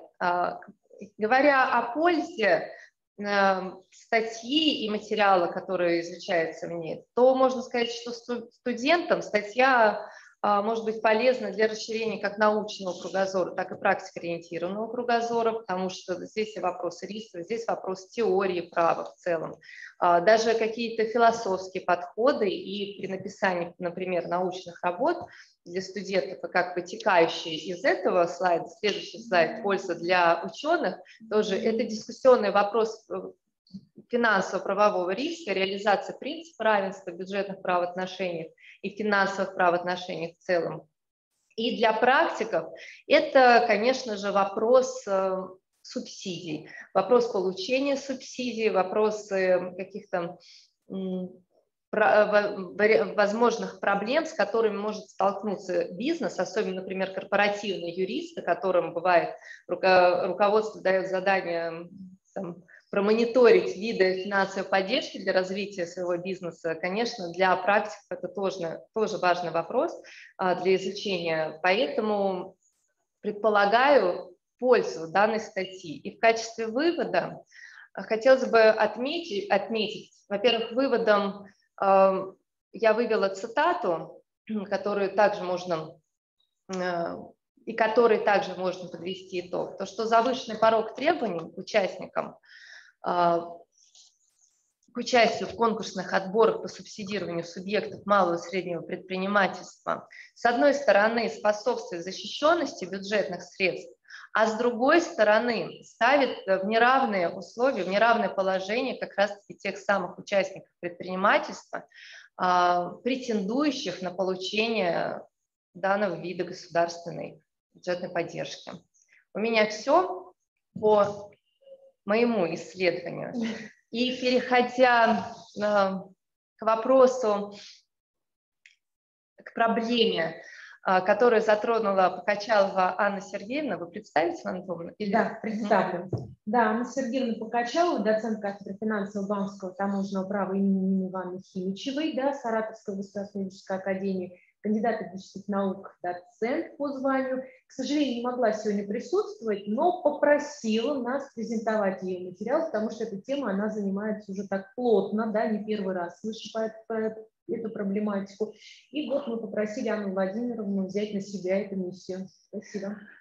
А, спасибо. Всегда волнительно говорить за другого человека, поэтому особенно за ученого, дабы, не, дабы не переформулировать мысли и как-то не выразить э, свое видение чужой мысли, и, может быть, даже чтобы не возникло никаких э, потом спорных вопросов. Поэтому э, возьму займу позицию, наверное, стороннего наблюдателя, стороннего читателя данной статьи, как вот мне откликнулась статья, о чем она.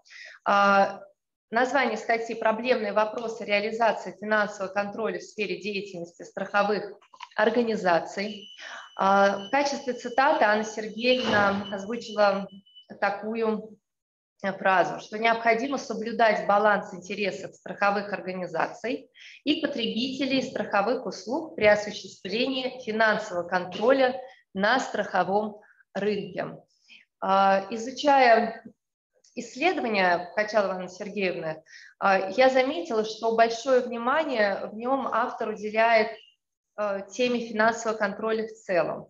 А, аргументируя актуальность публикации, Анна Сергеевна пишет, что развитие страхового рынка за последние десятилетия привело к повышению внимания со стороны государства к деятельности страховых организаций. И отмечает, что увеличение контрольно-надзорных органов, в числе которых э, Банк России, актуарии, специализированные депозитарии, саморегулируемые организации, привело к чрезмерной нагрузке на субъектов страхового дела. Далее а, автор приводит э, статистику в форме диаграмм, и сейчас вот будет отражено в слайде. А, в качестве проблемы публикации отмечено, что э, существующие проблемы осуществления финансового контроля в отношении участников страхового рынка в большей степени связаны с комплексностью правового регулирования данной сферы и необходимостью соблюдения как прав страховых организаций, так и прав потребителей страховых услуг. Действительно, помнится, в одном из докладов недавно Анна Сергеевна выступала, слышалась такая фраза, ну, может быть, мной она была воспринята, что зарегулировали уже настолько, что, защищая потребителей страховых услуг, а, как-то начали ущемлять интересы страховых организаций, что на вообще сферу страхования как на бизнес.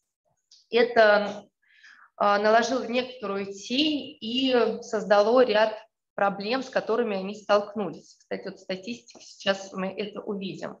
Аргументация. То, что Банк России, не запрещая отдельные виды страхования, стремится их сделать безопасными для потребителей страховых услуг. И как автор указывает, что Банк России готовит акт, в котором отразит минимальные условия осуществления страховщиками инвестиционного и накопительного страхования жизни, что позволит исключить недобросовестные практики по введению потребителей в заблуждение относительно отдельных характеристик таких продуктов. Ну, как видится, а, Банком России Банк России стремится к некоторой, наверное, сбалансированности, сбалансированности и поддержке потребителей страховых услуг. Еще в качестве аргументации автор отмечает, что Всероссийский союз страховщиков отмечает необходимость снижения регуляторной нагрузки на страховые организации. В этих целях э, необходимо законодательное разделение всех страховых организаций на две группы в зависимости от размера их капитала, что позволит Банку России вести деятельность э, что позволит Банку России деятельность одной группы регулировать согласно принципам Solvency 2, то есть более жесткие требования, а деятельность других нет, ну, как предполагается, оставить без регулирования. И как я говорила, э, приведена статистика деятельности страхового рынка, в которой можно заметить некоторые снижения некоторых показателей, в частности, уменьшение субъектов страхового дела, уменьшение страховых организаций, обществ взаимного страхования, страховых брокеров. То есть статистика э, убывающая, пожалуй, так и назову. Единственное, вот по обществам взаимного страхования она плавающий характер носит. А вот в других вопросах, к сожалению, убывает. И далее автор э, приводит статистику по распределению жалоб по секторам финансового рынка, и можно здесь отметить, что к если сравнивать январь-сентябрь 2019 года с январем-сентябрем 2020 года, то, конечно же, увеличи, увеличилось количество жалоб, поступающих от кредитных организаций, а от субъектов страхового дела количество жалоб, наоборот, снизилось. Аналогичная статистика также приведена а, по уже так, ОСАГО, по ОСАГО здесь подробнее хотелось бы, конечно, ремарки самого автора. Не возьму на себя смелость комментировать данный слайд. А, два вопроса ключевых, проблемных, заявляет Анна Сергеевна. Первый вопрос. Нужно ли регламентировать деятельность страховых организаций досконально в целях защиты потребителей страховых услуг? Вопрос дискуссионный и действительно носит спорный характер. И второй вопрос, будут ли при этом соблюдены интересы страховых организаций и не приведет ли это к ограничению принципов рыночной экономики? Вот такие вопросы заявлены автором. А, о пользе статьи для студентов, ученых и практиков – автор пишет, что в работе последовательно характеризуются субъекты, осуществляющие финансовый контроль на страховом рынке, и выделяются теоретические и практические проблемы.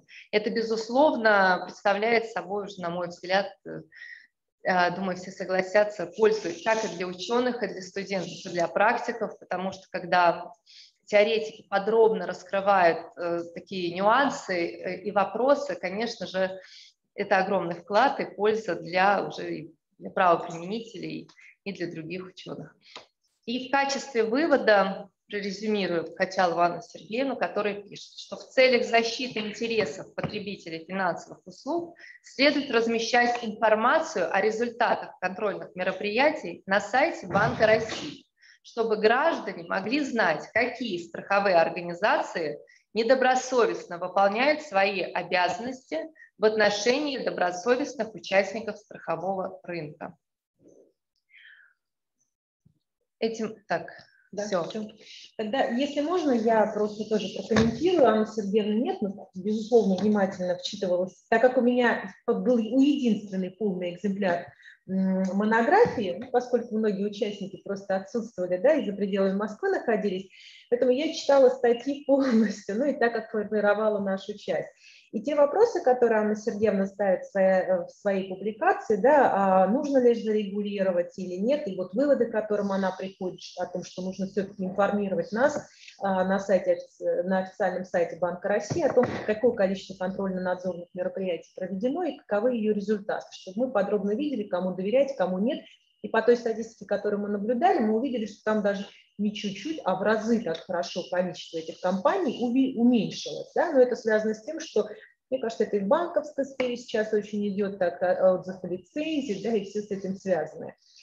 А, мне представляется, как раз-таки эта проблематика, она актуальна, и тематика, которую выбрала Анна Сергеевна, она а, как раз-таки на стыке разных отраслевых принадлежностей. Да, когда мы говорим о страховании, мы обязательно вспоминаем нормы гражданского предпринимательского права и тут же не забываем о финансово-правовой составляющей.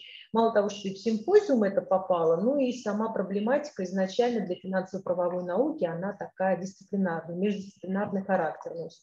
Но всем, э, кто заинтересовался этой, этой темой, а, скажу так, она на самом деле сложная, она иногда даже неподъемная, да, и, не все берутся по этому вопросу писать, но новизна и актуальность, она очевидна, хотя бы то количество компаний, которые существовало, и то, что есть там спустя несколько лет, да, проанализировать, с чем это связано, почему так происходит, почему отток на рынке, или, может быть, слишком зарегулирован этот процесс, или необходимо еще как-то регулировать для того, чтобы том числе обезопасить нас как э, да, пользователей этих услуг. Коллеги, у нас на самом деле на этом, в принципе, все по монографии. Если есть вопросы, я в чате их не вижу, может быть, путем поднятия руки, ну, может быть, те, кто прослушает нашу запись, они лично обратятся. Вы видите все контакты презентации, можно написать, всегда найти нас, мы бы очень быть заинтересованы в том, чтобы нас, конечно, и читали, и проводить какие-то совместные коллаборации, что-то писать, что-то исследовать, проводить мероприятия, обсуждать те темы, которые нам интересны на сегодняшний день. Ну и в продолжение могу сказать, что в сентябре будет еще одно мероприятие, которое готовит э, Мария Александровна э, Егорова – а уже оно, оно анонсировано, я пока участникам симпозиума не говорила, пользуясь случаем, предлагаю РУДН и всем остальным, да, в двойном размере, две статьи, вот так бы, да, а, приглашаю к участию, потому что так получилось, что Мария Александровна предложила мне тоже возглавить там аж даже две секции, вот, и, конечно, нужны те, кто подключится к обсуждению, чтобы мы смодерировали этот, э, ну, круглый стол, мероприятия, да, секции наши, чтобы поговорить, обсудить. И в самом заключении хочу поблагодарить коллег, которые участвовали в Zoom, присоединились. Хочу поблагодарить Анну Владимировну за то, что она взяла на себя очень бесценный труд подготовить презентацию, свести мысли чужих людей. Ну, мы не чужие друг другу на самом деле, но тем не менее, как было правильно сказать, передать эти мысли в правильном ключе. И Наталью Михайловну я благодарю отдельно за то, что, во-первых, отзывается на наши все неуемные да, призывы о том, что давайте проведем еще какое-то мероприятие.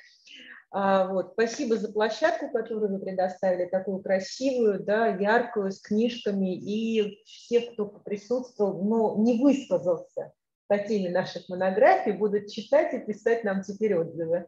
Да, примерно так. Благодарю вас за внимание, коллеги. Если вопросов больше нет, если кто-то хочет высказаться в Zoom, пожалуйста. Лана Львовна, просто поблагодарить за то, что вы организовали такое замечательное мероприятие. Сначала позвали нас поучаствовать в монографии и выступить на симпозиуме, а теперь дали возможность нам представить нашу а, работу уже на суд зрителей. Спасибо. Это все в записи. Я думаю, записью с, с нами с удовольствием поделится, поэтому можно популяризировать и МГЮА как нашу площадку, где проводятся, кстати, такие мероприятия. Может быть, не везде они проводятся, да, не во всех вузах, а в своих уже вузах нас, нас с нами знакомят с МГЮА с этой площадкой прекрасной, с Натальей Михайловной, которая может, я думаю, такие совместные проекты тоже организовывать. Ну, еще раз всем хорошего дня, выходных. А, есть вопрос, пожалуйста. Я хотела сначала спросить, принцип? Вот, к сожалению, а, этот вопрос нужно а, Покачаловой Анне Сергеевне. Нет, это да. положение о банке, сейчас я вам скажу. А, это, так, вот он у нас тут, 1006 ссылка. Это сокращенное название директив Европейского парламента и Совета Европейского Союза об организации осуществления деятельности таковых и перестраховочных mm-hmm. организаций. То есть вы заинтересовались да. этой темой? Нет, не Нет, стало интересно. Ну, уже интерес, это уже желание что-то... Лана Львовна, я боюсь отключиться сейчас уже запись, и я хотела процитировать, вернее, не процитировать, а обратиться к словам Натальи Михайловны, когда она говорила о том, что подобные площадки – это опыт а, понимания обобщения современных способов подачи информации. И вот мне очень эта идея показалась интересной. И вот, да, спасибо вашей площадке за то, что вы это применяете и несете в массы. Угу.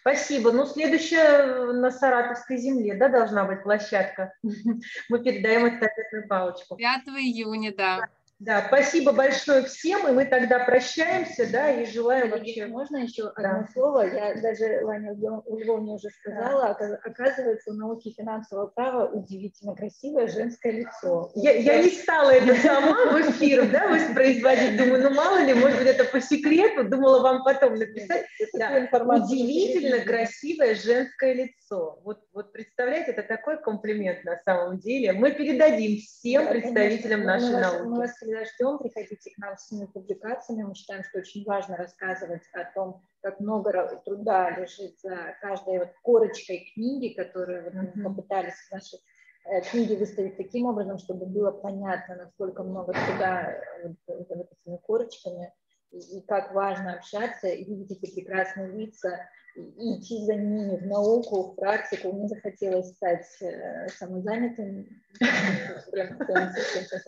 У нас в ближайшее время будут э, презентации и посвященные Вениамину Грибанову, и посвященные, к сожалению, проблеме детства. И, как ни странно, и, а может быть и, и нет, эм, всегда публикации оказываются к месту.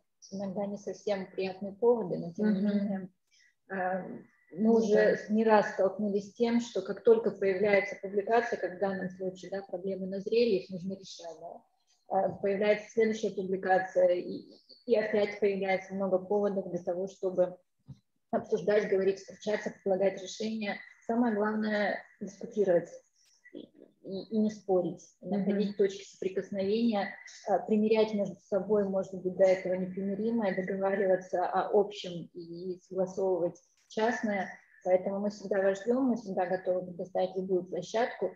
А, приходите с публикациями, приходите со статьями, а, с коллегами, с невероятно красивыми, с красивыми коллегами. Да, да. Мы вас всегда ждем. И, разумеется, мы все публикуем и на сайте университета, и на, сайте, на страничке библиотеки, и в соцсетях. Uh-huh. Я надеюсь, мы можем воспользоваться презентацией для публикации. Да. Спасибо огромное. Да, презентации, конечно, с удовольствием. Спасибо, всего хорошего. Всем до свидания, коллеги и участники. Всего хорошего. До свидания. Сейчас Zoom отключит, тогда, да? Угу. Все, можно, да, говорить? Можно. Ну,